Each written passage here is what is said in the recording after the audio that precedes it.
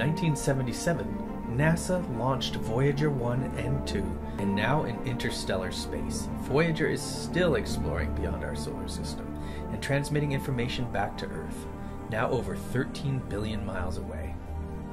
As an homage to this rich history and the farthest human made object in space, we launched the Xeric Voyager Automatic NASA Edition. A limited edition timepiece that reminds us of the value of exploration.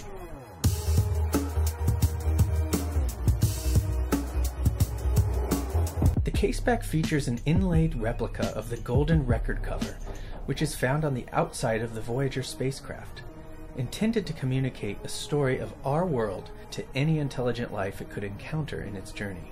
Reserve your watch now, as each colorway is limited to just 1977 pieces, commemorating the year the Voyager spacecraft left Earth and began its iconic mission through space.